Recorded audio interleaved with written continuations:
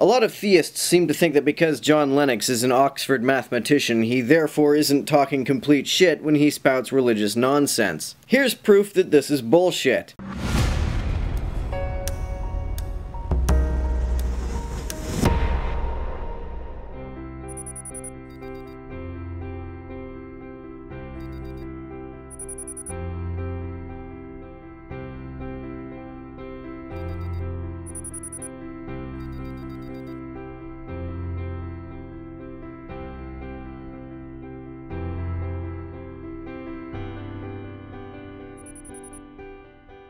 Because people have not been taught anything intelligent about God. Least of all by you. They're very interested in the origin of the universe. They're very interested in the big questions so far as they can be answered by science. But one of the results, I think, of the Enlightenment has been a reaction against formal religious structures.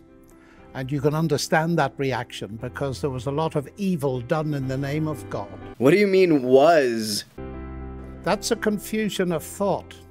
Because actually, if you mean by faith, faith in God, if you mean simply faith, which is trusting, faith is essential to science. Faith in a God, as it's defined in the Bible at least, is not simply trusting. The Bible explicitly defines faith as trusting without any reason to trust. In the 16th and 17th century, modern science started in Europe with Galileo, Kepler, Newton, all of whom believed in God. And their faith in God did not hinder their science, it was the motor that drove it. They had faith in God, in a rational intelligence, and that led them to believe, to have faith that they could do science.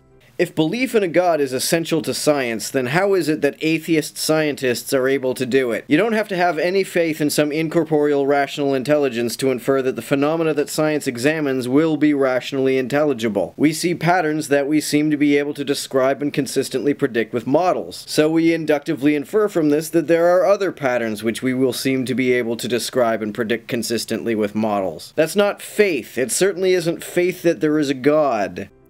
You see, it's important to realize that science and faith are not two different categories. When doing science, it's essential that you understand that they are entirely two different categories. Faith in God and faith in science belong very closely together because I believe both of them are grounded in evidence.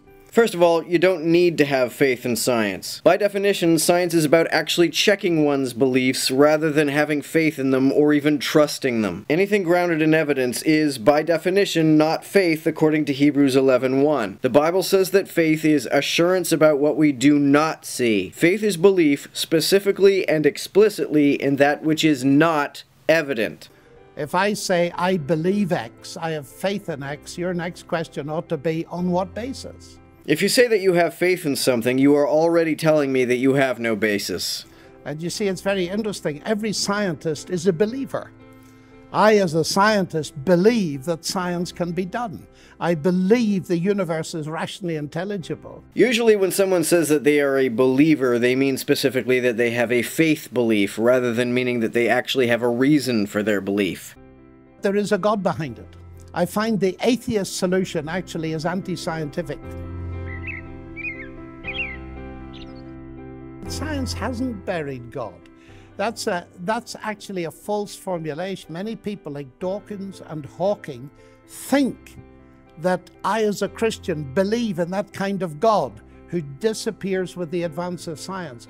But the Bible does not start with the words, In the beginning, God created the bits of the universe I don't understand. If your God didn't create the bits of the universe you don't understand, and a God is totally superfluous for explaining the bits we do understand, then a God is an epistemically useless concept.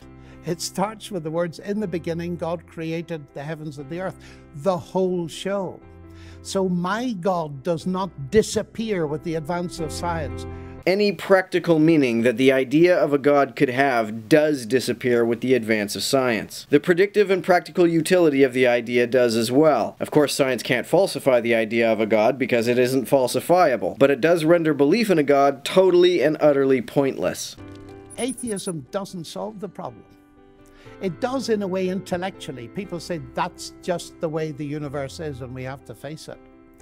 But it doesn't remove the suffering. It does remove all hope because by definition, atheism is a hopeless faith.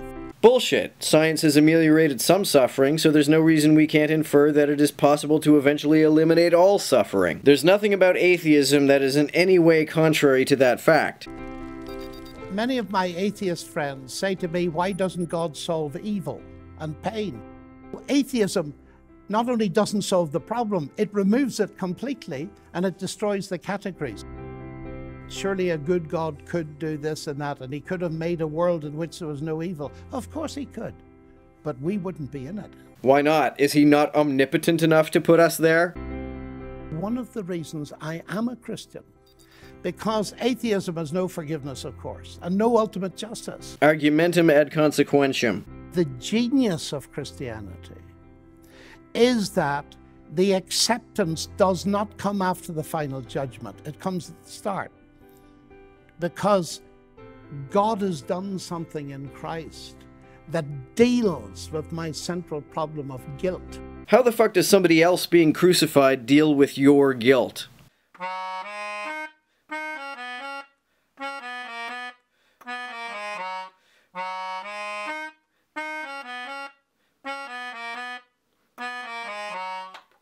I don't know if you've heard, but I do have a Patreon.